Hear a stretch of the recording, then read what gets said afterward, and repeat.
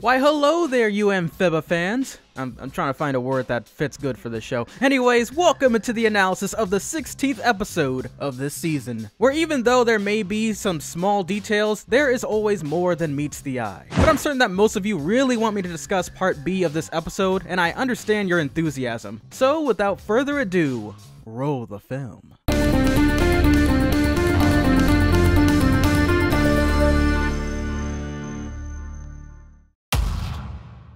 The first part gives us the title Toad to Redemption, where I at first assumed in my title predictions video that it was about Grime, when in reality it turned out to be about none other than Mayor Toadstool, as he's officially revealed to have a change of heart since the Toad Tower incident. And it's mighty ironic how I was just mentioning how much better his character had become over this season in particular, despite his still somewhat materialistic ways. But this episode specifically reveals his soft side, as he admits how the town has grown on him quite a bit, and we witness his more helpful side too too. But all is halted once a familiar face from Newtopia appears and addresses the fact that there is no one at the time properly ruling over at Toad Tower. Don't understand why such a noble, caring ruler ever considered wanting another dictator-like figure such as Grime to overtake Toad Tower once more, but who am I to judge? Also, it's more necessary to mention just how strangely unique the creature that helped the Newts get over to Wartwood looks, as if it could potentially be in some way related to the reptile-like creatures from the episode Night Drivers, or even the reptile frog creature from the introduction. And once again, we only seem to see these types of creatures unless we're on the path away from Newtopia, or if it's used by the Newtopians themselves. So this may all be a hint telling us that the final temple or trial could end up being near Newtopia all over again, leading up to a confrontation confrontation with King Andrias. But back to the episode, an official emissary named Jacinda is in search of a new Toad willing to have the guts bold enough to rebuild the tower, as well as rule over there. Mayor Toadstool, however, is reluctant in doing so as he considers how he more than likely would prefer to stay in Wartwood. Plus, building the tower is physically impossible considering the last episode's events that transpired.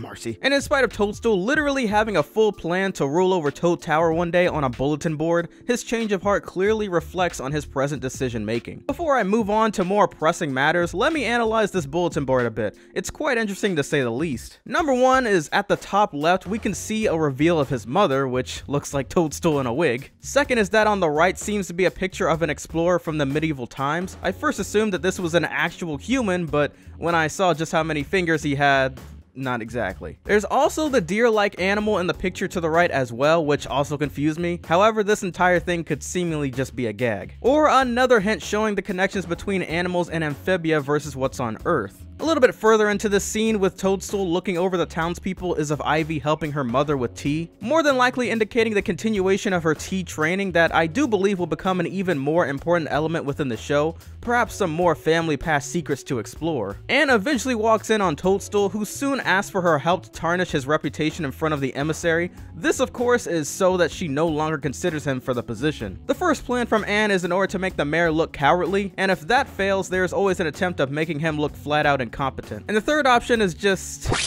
yeah, they, they weren't even going to consider that. Mighty interesting, however, that the giant reptile is depicted within the slide, though. During the presentation meeting, Anne mentions that Marcy couldn't join due to her inspecting Frobo for researching purposes. Don't know why she chose to do so inside of an outhouse, but I suppose it was in order to ensure safety for anyone else nearby, and no, this is for sure not the same outhouse from the first temple. And judging by not only how fascinated she was by him at first glance, but her character as a whole, we should have seen this coming. I really just found it strange how she didn't recognize it right away, as she clearly studied almost everything amphibia related during her stay here. Maybe there's more to see within those archives from season 1, am I right? But obviously the usual cliche, Anne's plans in destroying Toadstool's status doesn't work, as it makes him look even more fit for the job. That is until Grime's original Toad army from before all decide to try and rob Wartwood by threatening to burn down the town, as if they haven't already endured that before. But the mayor stands his ground by protecting the citizens there and conjures up a plan to trick Bog and his followers, soon resulting in an all-out battle compared to the last small quarrel they had with them in season 1. In the end, Toadstool assumes that the emissary definitely will consider him as the Toad to take Grime's place,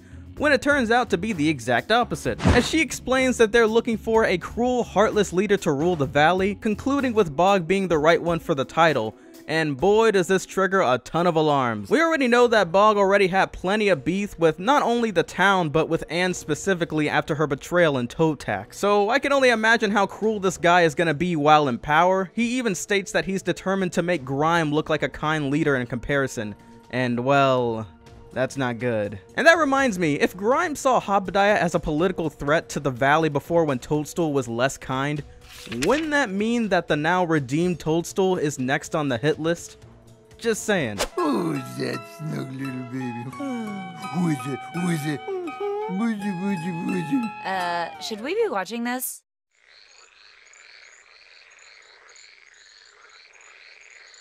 Part B was quite simple, so let's get down with it. Within this part, Maddie is in the middle of performing one of her revival spells to bring a pet flea back to life. But she's interrupted by her three sisters, Ginger, Rosemary, and Lavender, which I'm certain are all references to herb plant life. And Maddie is frustrated with them for getting in the way of her spell casting, reasonably so, and wishes that they grow up, resulting in Marcy eventually meeting her for the first time in order to learn and explore more about the dark arts. So she journeys alongside Maddie in search of all of the materials needed for properly reviving the dead flea, Usually you would want fleas dead, but hey, this is Amphibia for you. There also was a joke spliced into a scene where both Maddie and Marcy mistaken Hopediah for a rotting corpse.